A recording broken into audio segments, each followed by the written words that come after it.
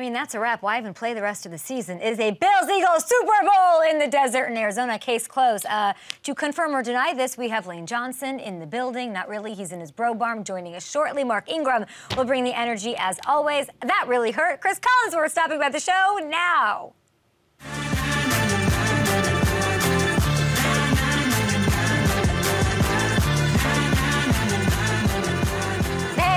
Welcome to Up and Adam. So many guests, so little time. Week two wrapped up last night. Lots to get to. First, though, there was that scary scene in Buffalo last night. Bills cornerback Dane Jackson taken to the hospital after suffering a possible neck injury. Uh, we have great news to report this morning. According to NFL Network's Mike Garafolo, he was released from the hospital. All indications say that he avoided major injury. We'd, of course, from everyone uh, at Up and Adams behind the cameras and behind the scenes, and we, of course, wishing Dane a speedy recovery. The takeaway from this epic game uh, as of course the Bills are as advertised, which is so hard to do that we cannot look past it. So much hype. Even last night, you got Bruce Smith out there, you got Jim Kelly standing on the field leading chants. This isn't the postseason. This isn't a Super Bowl thing. This is week two of the NFL season. There is so much pressure, such hype but they are that team. Diggs is him. Allen and Diggs are them. They made the big swing with Von.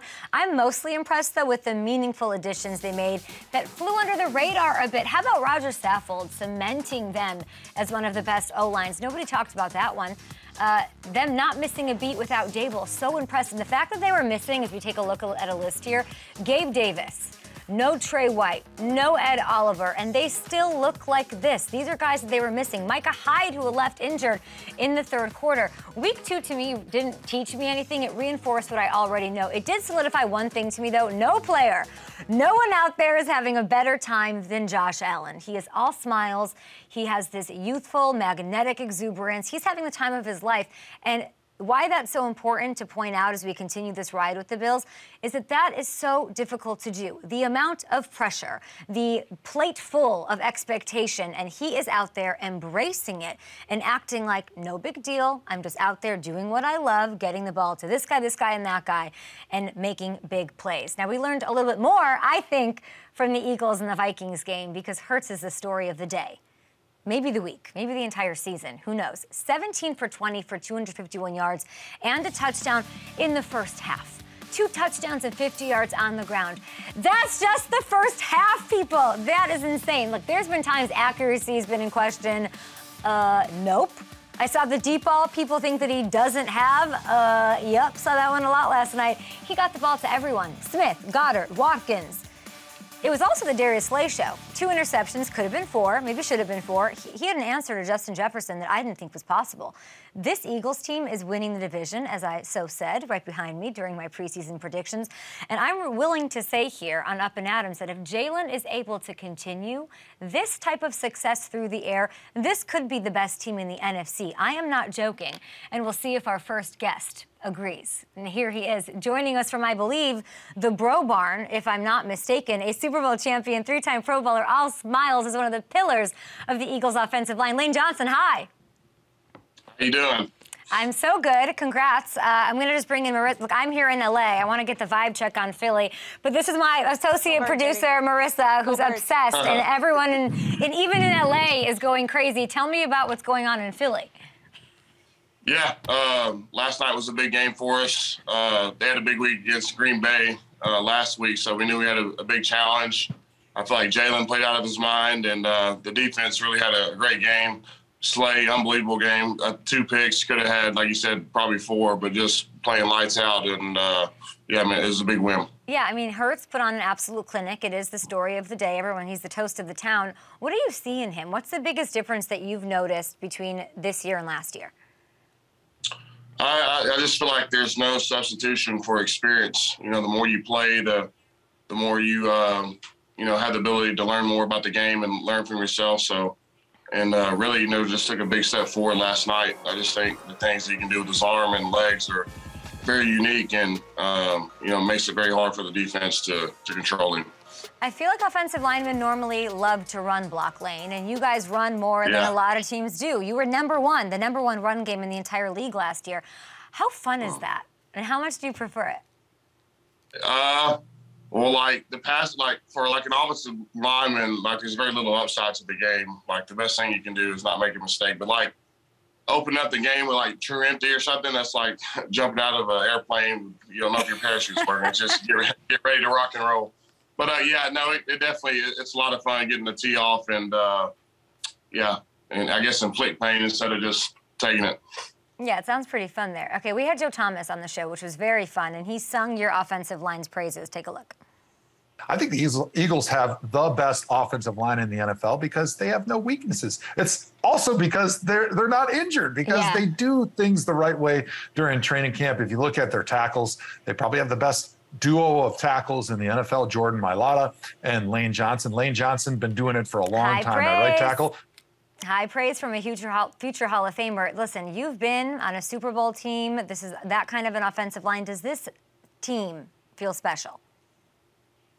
Uh, I feel like we're very talented. I mean, obviously, there's a lot of work to be done. I think eliminating the distractions and uh, really, I mean, going into each game feeling like you're outgunned or outmatched, and uh, you have to prepare that way. I think it all starts in practice, and uh, yeah, we just have a lot of lot of good energy, and uh, you know, kind of you know, looking forward to next week against Washington. And uh, yeah, you, we uh, I know we have a, a, lot of ability, so it's just about taking it one week at a time. Lane, you're not even celebrating. You're already on to the next team. Stop.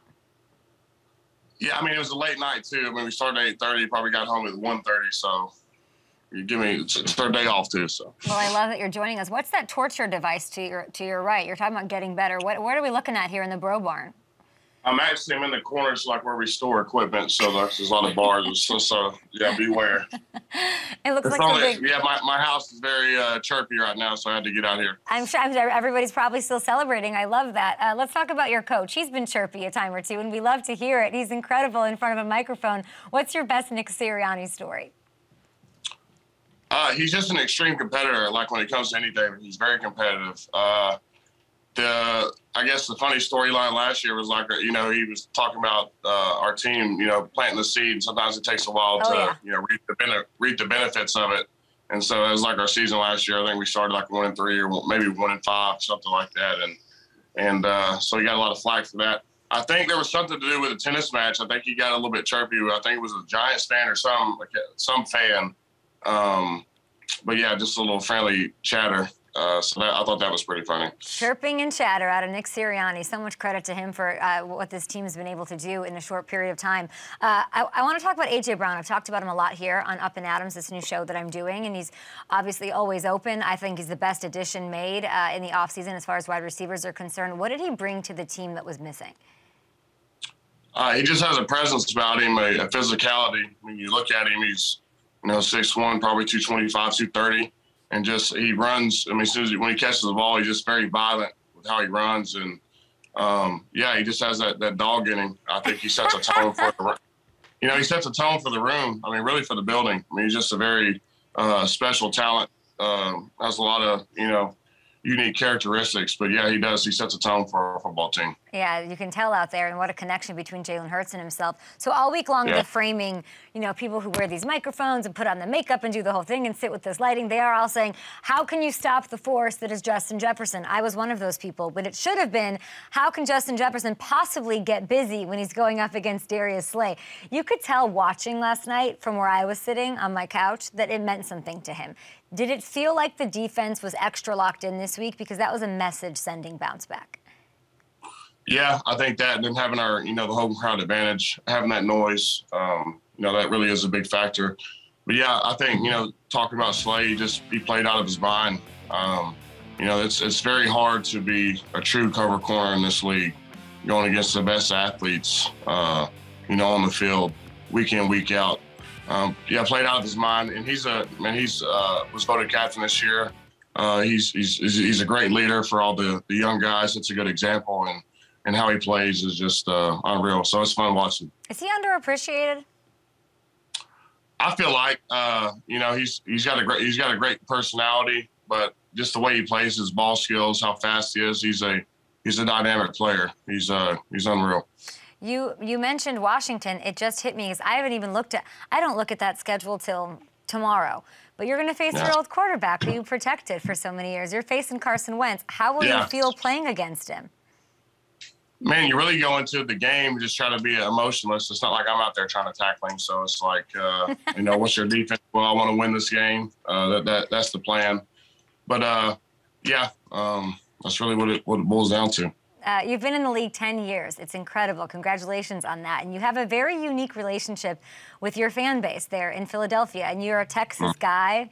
You enter yeah. Philly, different worlds. I even saw a video of you that they had up yesterday where you're telling Philly fans to get drunk, responsibly, of course, but to go have a good time before this game. What does that fan base mean to you? I think they listened. Uh, no, I mean, it's just, you know, uh, there's nothing like a Sunday there at the Linc. I mean, people tailgating. That's what people look forward to all year. And uh, yeah, really, um, they bring the energy uh, week in, week out. And uh, it's, I mean, it's truly a football town like Texas. Like you remember the movie Friday Night Lights. And this is how this place is here. People love football. It's all they, um, that's all they know. That's all they love. So when you when you get a crowd like that and they get involved into it into a game, it makes it special. Yeah, there's just a couple more questions for you. We did, there was a fun tweet yesterday the producers pulled up that somebody, you know, everyone's talking Super Bowl now after how you guys look offensively and defensively. A Bills Eagles Super Bowl in Phoenix, says Bill Barnwell during Waste Management Open Week. Yikes! Your thoughts? uh, what does Nick What does Nick Saban say? It's all it's all rat poison. It's all bad for you just to, to read any of it to yeah. get too much into it. Uh, it all makes for good headlines. But like I said, it, I mean, it, it goes down to week in, week out, and being consistent. And so that's something we got to learn to do. You're a perfect system. person for that locker room to keep everybody level-headed. You said it, eliminate distractions. You're a veteran in this league. Uh, and last year you were detailing your challenges with anxiety. There was an, you know, an mm. intense NFL season, of course, that you were playing through. Has that approached or has it sort of changed your approach to this year? And any thoughts on life post-football? Uh, yeah, I mean, it's just really about adapting and learning more about yourself. I thought that's what I ultimately did was just learn more about myself and uh, became better at the end of it. I thought I can play my best football and uh, really in a good headspace. But yeah, um, you know, talking to people, I feel like a lot of the younger generation uh, would just, it's just a new dynamic uh, that kids face nowadays. And so I think just talking and, and being open with people is the, is the best remedy. What were some of the resources that you sort of took advantage of? You've been so open about this. I talked to Brandon Marshall about it on Friday. Everyone's open about mental health now, uh, especially in the NFL. It's really great to see. What were some of the resources you took advantage of last season into this season that you can maybe share? I really just seeing, you know, sports psychologists or therapists. You just really had to learn more about yourself and break down some of the walls that you may have, you know, being prideful about stuff.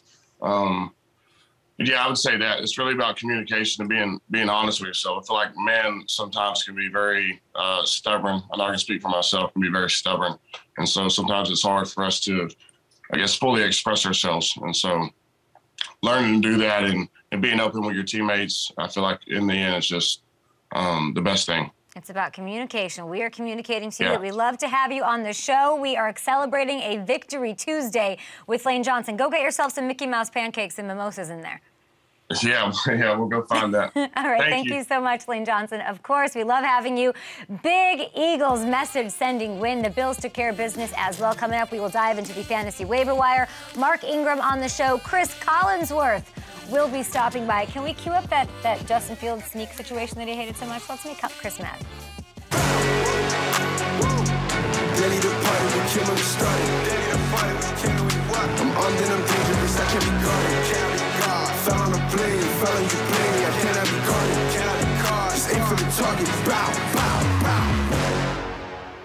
The season's gonna fly. We are officially through two weeks of the fantasy football season already, and you've got to make some roster adjustments. I'm here to help you do that with some waiver wire choices. It's time for Hey, Pick Me Up. First, how about Jared Goff finishing seventh at the quarterback spot last week after a four touchdown performance against the Commanders. He is still out there in a whopping 85% of leagues right now. Listen, listen, listen. If you went all in on Trey Lance or if you went in on Dak Prescott, I like this option much more than Jimmy G as a replacement because you know you're going to get consistent volume through the air. Goff averaging 37 and a half dropbacks per game so far this year, while Jimmy isn't the most consistent fantasy option because the Niners do like to lean on that run game.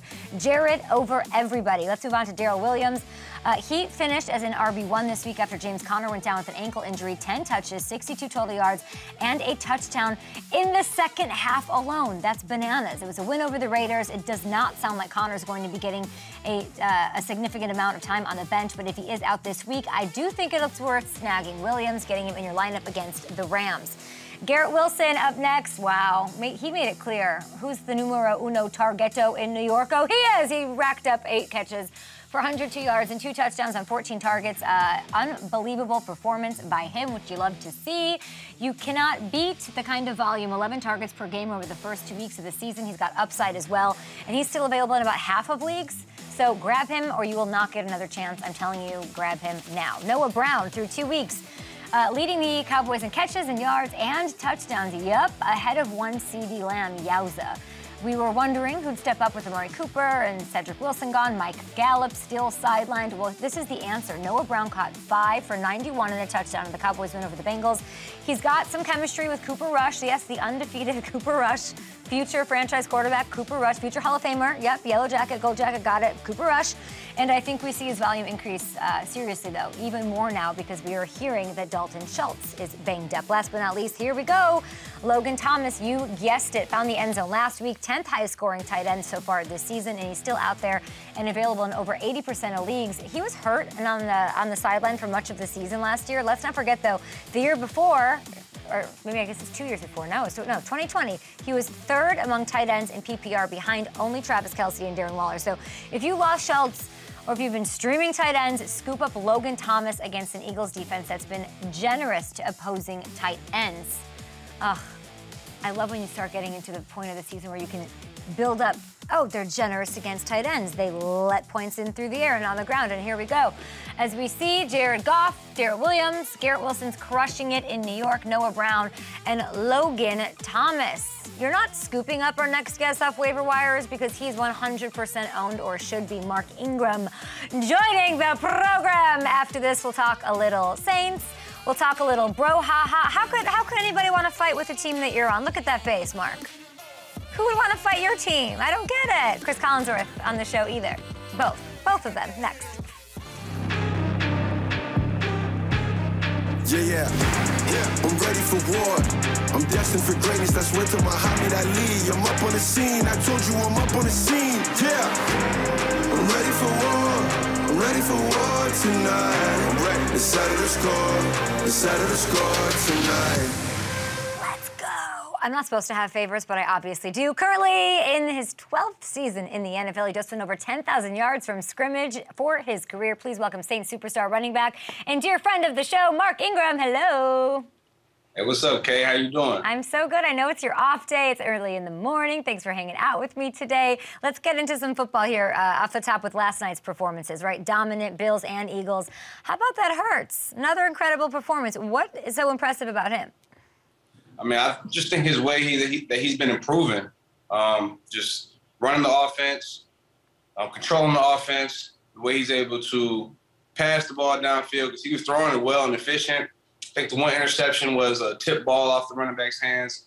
So man, he he barely had any incompletions. He was making the right decisions downfield with the ball. Obviously, his legs are a game changer um, for the offense, and uh, you could tell that his growth and his maturation as a quarterback, as QB one, is you know, proven very, very good for the Eagles. yeah, they're real, real deal. Lane Johnson was just on Darius Slay. What a game by him, too. Two interceptions, shutting down or taking care of business, stifling Justin Jefferson. Slay was balling. Yeah, Slay what, was balling. I, why is he so underrated?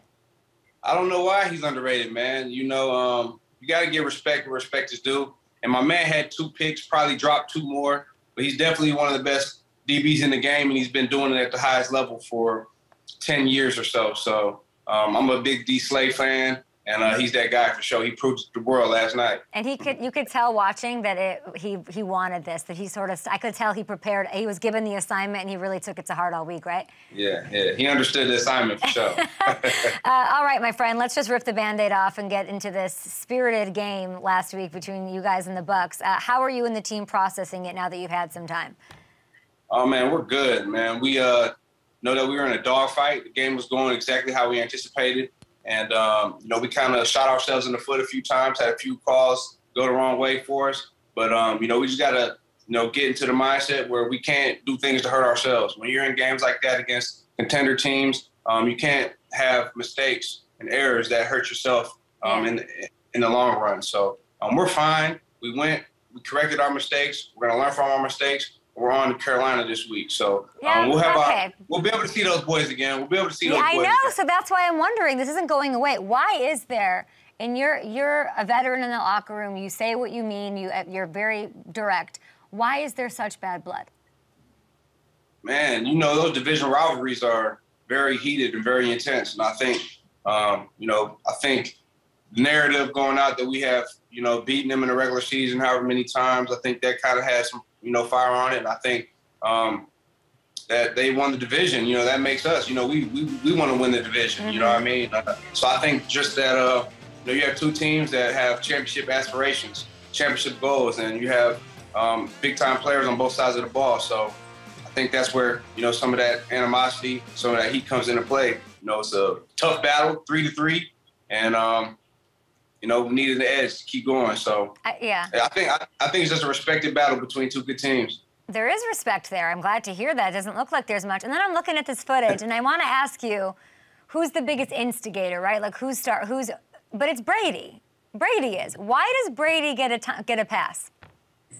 Listen, you can talk and chirp all you want, and I think that's what was going on at first. You know, Tom was talking to Marshawn, Marshawn was talking back. I think like Leonard maybe pushed Marshawn, Marshawn pushed him back, and then you see Mike Evans come out of nowhere and just kind of take a cheap shot on on, on Marshawn, man. And that's the second time he's done that. You know, um, I, I just don't think that's cool taking a cheap shot at somebody.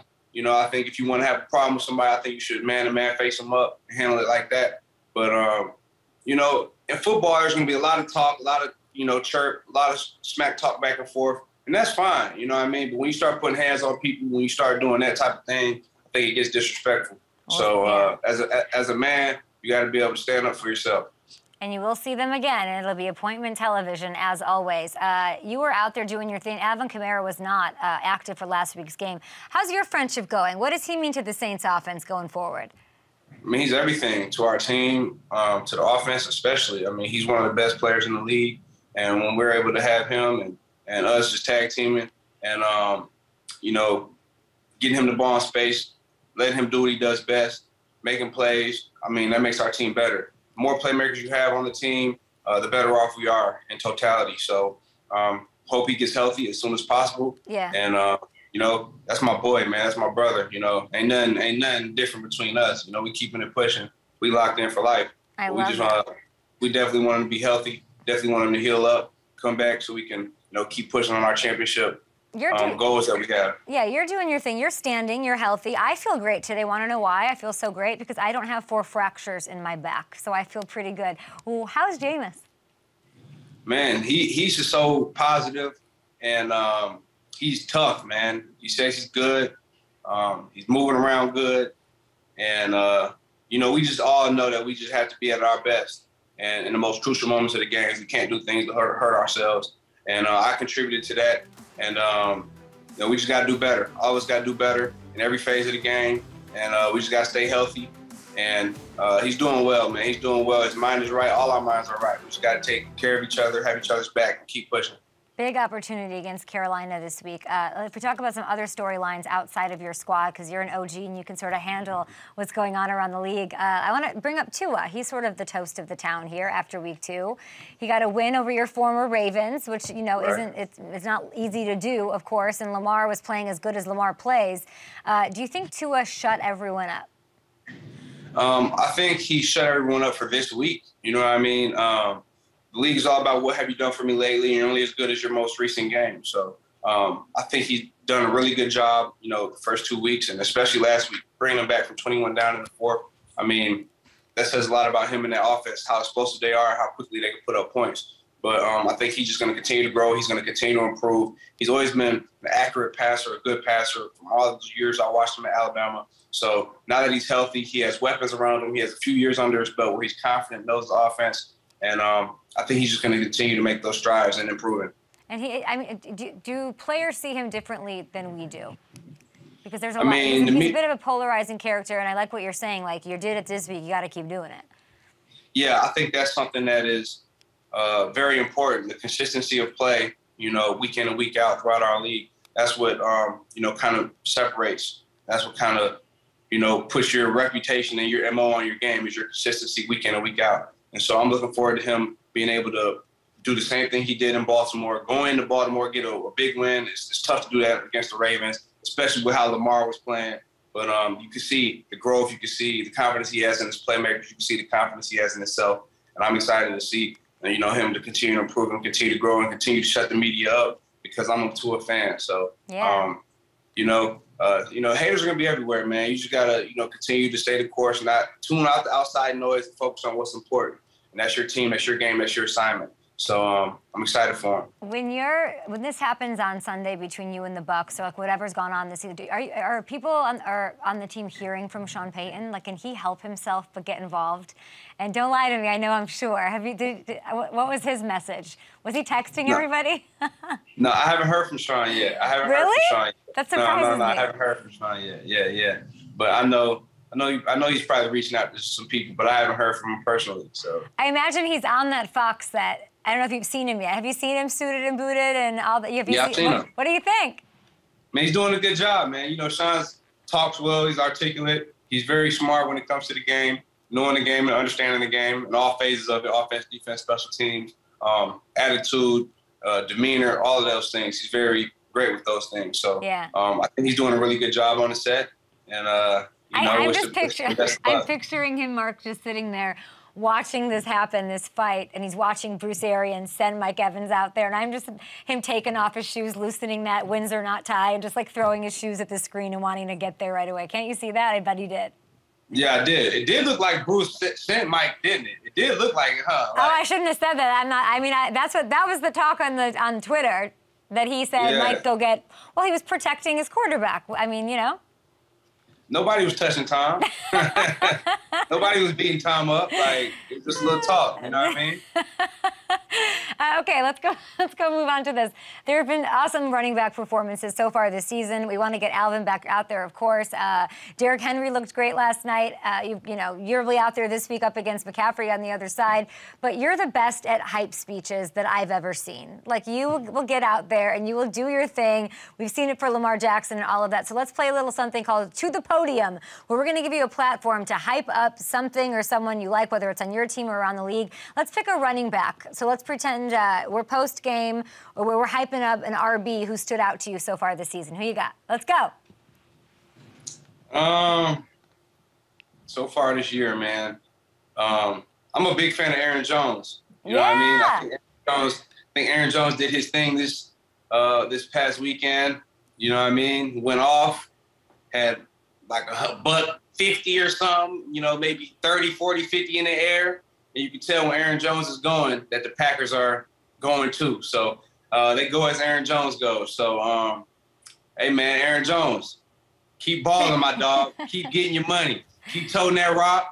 Keep catching the ball out the backfield. Keep setting the tone for the squad, man. Keep setting the tone for the team. The team goes as you go, and they going to need you, bro. I'm a fan of you. You know how much I respect you, how much I love you and your game and your family. So keep holding it down, my brother. Keep toting that, keep toting that rock properly, man. How it's supposed to, man. You're doing it the right way, man. Big fan here. Woo! I love very well done. I love I love his family. They're adorable. You know, I'm listening to you say that, and you're saying you're the heartbeat of the team. Like Aaron Rodgers has to hate that. There's no world where Aaron Rodgers liked anything that you said. Listen, Aaron Rodgers is the man, hands down. Doesn't have to be said. When he has assistance. You heard him at the podium say when they had to run the ball, how he ran the ball, that it takes the stresses off of everybody. So not, I think Aaron Rodgers is 100% in agreement with me when he needs Aaron and Corey Dillon be toting that rock like that. takes the stress off of him. It takes the defense off the field. And, you know, it makes them better. He's the hype man for running backs. If you think that somebody needs a speech, a hype speech after week three, this is the guy who'll do it next week. Mark Ingram, we love you. Enjoy your day off. Uh, I don't know why you're standing, but you're making me nervous, so I'm going to let you go. Why are you standing? I'm not standing. I'm sitting down. Oh, I'm are you? Down. I thought you were standing. No, I'm on like a little bar stool. What is this angle? I was like, why are you? I thought you were on one of those like walking standing desks that women have in their offices. No, no. I, I, I was trying to ask about the angle. I didn't know if it was good, bad, or if it was weird, but it's great. Yeah, I'm just sitting on a bar stool right now. It's perfect. Using my daughter's enjoy, iPad. Enjoy your day off. We will see you and good luck against Carolina. Go kill them. All right, thanks. All right, thank you, Mark Ingram, joining us from the Saints. Uh, love having him. What a hype! You see how he starts slow? He's like, yeah, he did great, and he and he's the best running back in the world, and ah! that's why we love him. Uh, what is the Mark Ingram t- tweet, Conrad? What are you talking about? All right, shout out from the Saints to Mark Ingram, 10,000 career yards for him, and still counting. Alex, I see you. You're on social over there for the Saints. We love them. We love him. And we love Cris Collinsworth, who will be joining us uh, soon after this. Time to hit the lights, where we shine a spotlight on a player who had a Hollywood like outstanding performance in week two on or off the field. And by the way, it doesn't have to be a player, it can be whoever. But we're going to start with Hayden Hurst, everybody. This has been the biggest silver lining in the midst of a really rough go for the Bengals to start. I love him for what he's done off the field uh, because he's been so outspoken and transparent about mental health issues, and he's done so many great things with the Hayden Hurst Family Foundation. I've talked to him about it several times over the years, but he has had some tough breaks on the field. He was drafted first round by the Ravens, right? Uh, I don't know. If, I guess we don't have any footage of him, but I want to tell this story. Maybe we can even come on camera for this. Uh, he was drafted in the same draft class as All-Pro Mark Andrews. Everybody, right? So then he gets sent to Atlanta in 2020. He put together a strong season, but the Falcons, of course, drafted this unicorn monster player named Kyle Pitts. So he goes to Cincinnati this offseason to replace CJ Uzomah, and it looks like he's finally found a home, right? He's quickly becoming one of Joe Burrow's go-to guys in big spots. He leads the NFL right now, six catches on third down, clutch moments through these first two weeks, including I mean, he had a couple of huge grabs for the Bengals in that game tying drive in Dallas. So I do think this is a player to keep your eye on. He's going to thrive uh, once the Bengals figure out the O line situation. And that's what I'm going to talk to Cris Collinsworth about because we need to fix something. And all I'm thinking is, why didn't you draft or not? Why didn't you sign and pay Terron Armstead? So that's one of our nominations. If you have any to hook us up with, uh, at Up and Adams is where you put those. Um, Aidan Hutchinson has to get some love here on the segment. Slow start to the season. Second overall pick racked up three sacks and Lions win over the Commanders. Not just about performance here on the field, though. It did mean a lot to a five-year-old Lions fan named Hudson Gazzi. So when Hudson was diagnosed with leukemia a few weeks ago, I, mean, I don't know if we have a picture of him or, or any of this, but Aidan basically got in touch with him through the team. Oh, here it is right here. An amazing, amazing three-sack performance. But uh, he's been corresponding with this young fan ever since getting in touch with him. So then there was the post-game press conference, and Aidan revealed he was dedicating his breakout performance, these three sacks, to Hudson. Uh, and it's really fun to see. It's awesome to see. And it's just his second game, Hutchinson, a rookie, should be focused on maybe anything but, or you'd be thinking that he would. He's already focused on making an impact there on the field and in his home state. So that if that's not a winner uh, and it hit the lights nominee, I don't know what is. We are unfortunately going to give it to someone else because it's someone I just think that needs a little love. Christian Kirk, because the re reaction online was so brutal. I've never seen anything like it. Christian Kirk was I one of them? Kind of. Sure, I poked in on the fun. Four years, $72 million. Are we joking? He signed this deal with the Jags. It was an intense deal. There were jokes at the Jags' expense. There was outrage over Kirk making more per year than guys like Mike Evans and Tyler Lockett. Well, Kirk is taking that energy and throwing it in everyone's face because he has become Trevor Lawrence's favorite target already. 78 yards and two touchdowns in that win over the Colts. He currently ranks seventh in the league in receiving. Do you want to know who that's more than, Brian? It's more than Ja'Marr Chase more than Davante Adams, more than Terry McLaurin, and even more than emerging star.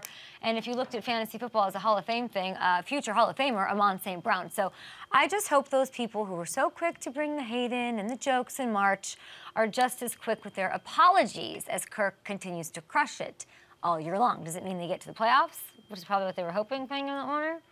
That's that's not what this segment is for. It's about hitting the lights. So we hit the lights on those guys, and I'm sure we missed a ton. So hit us up uh, at Up and Adams Show for all of that. We were going to look at some, I don't know, I think uh, Conrad has some tweets. I know Cris Collinsworth is waiting. We'll get to him quickly after the break, but uh, Conrad, are we good? Yeah, I mean, I think there's I think there's one tweet in particular before we get to Cris that I found to be absolutely amazing from last night. Just absolutely laugh yeah. out loud stuff from Darius Slay. I mean, look at this. Slay gave one ball to James Harden last night, and the other interception ball says it's going to go to his son because his son's favorite wide receiver is Justin Jefferson. How about that? How about why does James Harden get a ball? Well, I mean, James Harden is sideline, right? James Harden, okay. Darius Slay, like hey, they're, they're two guys. I'm sure Darius Slay will be at the Sixers games in the fall. Yeah. I'm sure I'm sure it'll go both I'm ways. I'm curious. I want to interview Darius and say you had uh, two other interceptions that didn't happen. Who would you have given those balls to? Because I don't oh. know if oh. James Harden's the best answer for that. Uh, Conrad, are we cool to take a break to bring in Cris? Let's do it. Let's bring Cris in. Let's let's take a right now, shot. or should we take a break? Yeah, let's take a break. Okay, we're gonna take a break. And Cris Collinsworth, please do not leave us. We will be back. Thank you so much.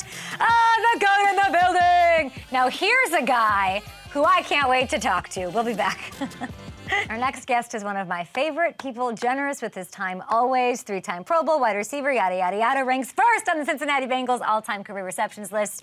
He has won an Emmy 17 times, pales in comparison to my baby one, and he's currently in his 14th season in the Sunday Night Football booth on NBC. Cris Collinsworth, welcome 17 Emmys, what? Kay, how are you, my friend? How are you? I'm so good. Thank you for joining me. How are you? I'm good. I'm a little. I'm a little worried though that uh, since you haven't been to Cincinnati this year, my boys are falling apart just a bit, and you are sort of the uh, the princess of the Queen City. So yes. could we get a return visit, maybe to get the spark going? Okay. Because really, you ignited the flame last year. You know, you really did. I really did. Maybe it needs to be like a you and me situation where we both go and take care of business. And let's start there in Cincinnati. Not only home to the prin- of the princess of Queen City, but your home, of course, and the home of PFF, which we love. And they've got all those stats, and they're not kind to one Joe Burrow, who has been sacked a million times already uh, this season. And by a million, I mean 13. He's on pace for an outrageous 111 sacks this year. How do they fix it? I don't know, but they, you know, they've been behind in both games. And, and let's start with they played two really good defenses, right? Uh, they played the Pittsburgh Steelers, uh, got behind in that game, had to drop back and throw it, and Joe was getting killed. They got behind against the Dallas Cowboys, uh, and and had to drop back, had to throw it, and you know he's going to take uh, a beating from that defense as well. So they, they clearly have, you know, some issues up front. They, it's a carryover from last year. You would have thought, you know, they tried to do some things, bringing in La'el Collins, bringing in Alex yeah. Cappa. They got the rookie Volson over there, Ted Karras. So everybody thought it was going to be better. Uh, but it, to some extent, too, I think that Joe Burrow has to take a little bit of it and just go, I'm not going to make my guys look bad anymore. Okay. You know, I'm going to get this ball out of here. Tom Brady, you know, is under 25 sacks every year for a reason because Tom Brady knows how to get rid of the football. So at this level of football and with the significance of, of what Joe Burrow is, you know, he's just, he's the franchise. He's everything to, to the Cincinnati Bengals.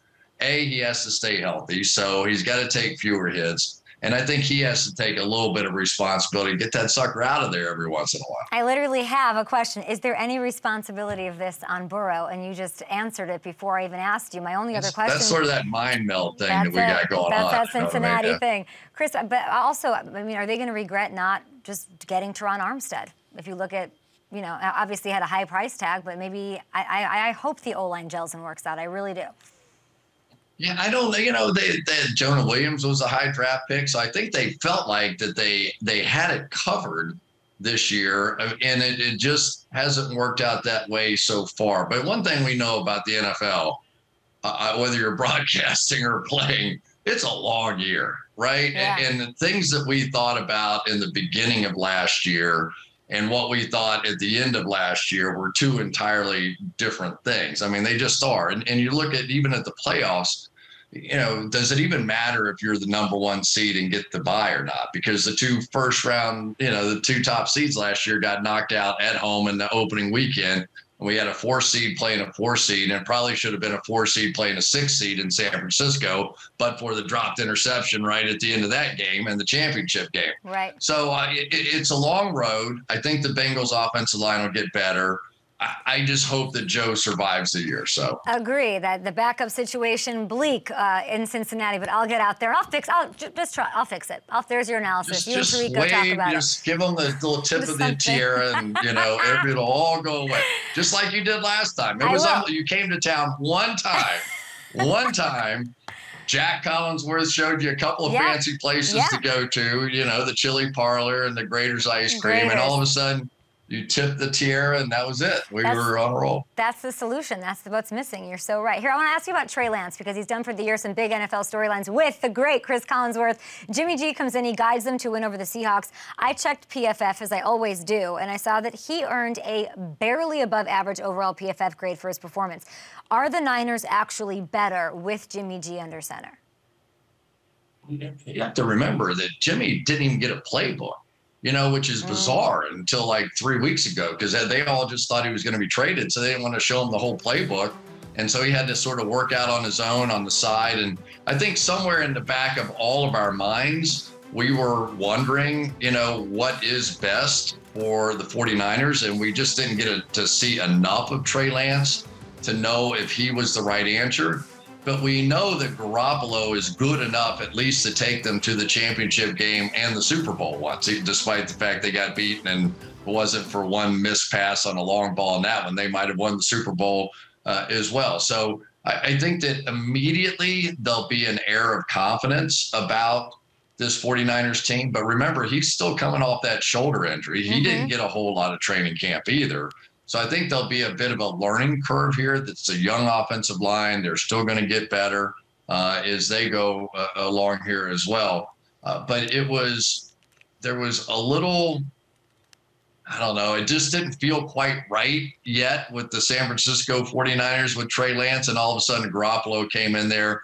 And it just seems like they've just sort of fallen back into old habits. And now they'll rely on the run game defense. And I, I think they're going to be right in the mix. Yeah, and then this week you've got Denver, of course, a mess with penalties and decisions and all of that. How do you use PFF to get you set for that game? Uh, we use it all. I mean, we use the grades, we use the snap counts, we use the tendencies. We have my guys from PFF will come in and they'll study the game from the week before and they'll give me a little breakdown, which is what we did uh, did all day yesterday. Denver is an interesting team. I just got finished watching the defensive tape and uh, they come up there with that five man line and and really try to get some pressure uh, with Randy Gregory on the outside who came up with the big play uh, and Chubb and all the different guys that they have out there. So it, it's a it's an interesting team. I don't know how badly hurt Patrick Surtain is, and Mhm. you know what that's going to mean for this week's game. Uh, but they have to get it going on offense. I, I mean, it was startling to watch the number of mistakes that they made, and it, it's easy to put everything on coach and quarterback, and uh, and just kind of go, oh, Nathaniel Hackett, he doesn't know what he's doing, and Russell Wilson is a bad deal. Russell Wilson played fine. He was putting the ball where he needed to put it.